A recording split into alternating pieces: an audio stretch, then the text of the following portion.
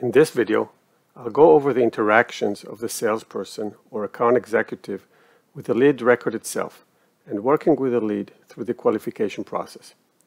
This could mean whether there is an interest of the organization's products and services, or it could just be researching about the company and getting additional information from the internet and the social media. This will help us determine if the lead is viable or not. Within the lead, there are several key points that will help with the qualification process. The first one is the business process flow that we can see at the top of the Forms tabs. From the perspective of the business process flow, it will start with a lead in the qualify stage and then move to an opportunity and possibly to quotes, orders, and invoices in the develop, propose, and the close phases. In the qualified stage of the business process flow, we can determine if the lead is associated with an existing account or contact. Usually, leads will be in interaction with a new business, so the existing account and contact will be empty or not populated, as this will not be someone that the company has worked with previously. Within the main tab, we also find our timeline.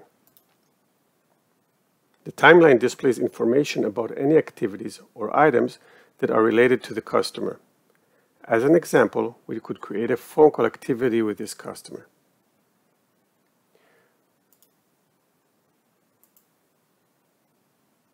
we would enter in the subject that this is an initial phone call.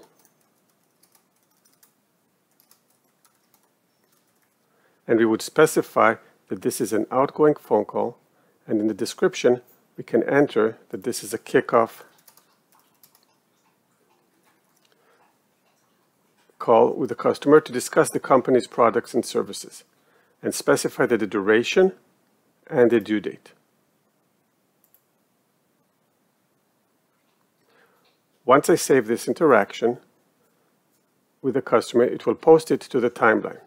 This will allow the user to see from a single unified location any interactions that are related to this individual lead. The timeline also provides the ability to interact with other people with the organization. We can go again to the timeline menu and add a post and possibly ask if anybody in the organization knows anything about this company.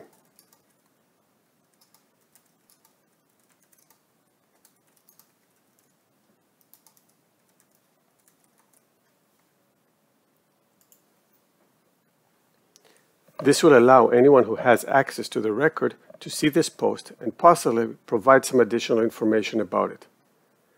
Let's consider after the initial conversation with the customers, we're able to determine some additional qualification information for the lead, such as the purchase time frame, which we'll set to this quarter, the estimated budget we'll set to 50,000, and the purchase process, which will set this to a committee. Now let's go create one more activity of type appointment.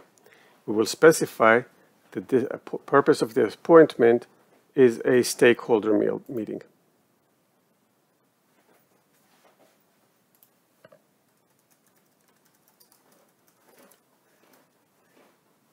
We will put the location as the client office. We'll set the start time to tomorrow morning. And we'll set the duration to a one, a one hour meeting.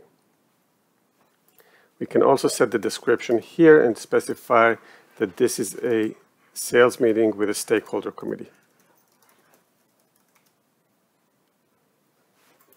Now let's go ahead and save this meeting.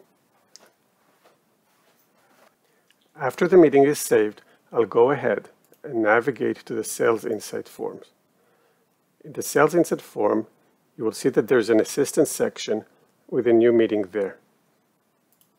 If I click on the meeting, I'll see who the meeting is with. I have the ability to open the meeting or the appointment or email the attendees uh, of the meeting with an agenda or some other information about the upcoming meeting.